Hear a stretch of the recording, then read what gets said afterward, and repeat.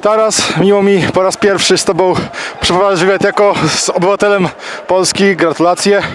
Ale przede wszystkim gratulacje za to, że wreszcie udało się pokonać Lechię Gdańsk. Ostatnio to było na koniec sezonu 14-15.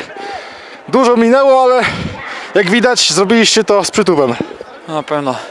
Ostatnio wygraliśmy to z Lechią, to taki był pamiętny mecz. 4-2 wygraliśmy, też przegraliśmy w tym meczu, ale bardzo się cieszę dzisiaj, że przy 1-0 przegrywaliśmy, ale udało się na szybko odrobić te straty i wyjść na prowadzenia. Na pewno gratuluję zespołu, bo dzisiaj oddali sporo sił na boisku, ale tak to ma wyglądać nie tylko dzisiaj, w następnym meczu.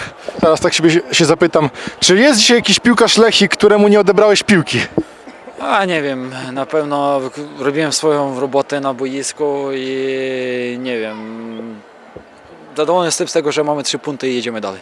E, Lechia może w tym sezonie nie zachwyca, ale czy traktowaliście ten mecz jako taki, taki przedsmak tego, co Was czeka we wtorek? Bo Lechia oczywiście też tutaj musiała grać ofensywnie.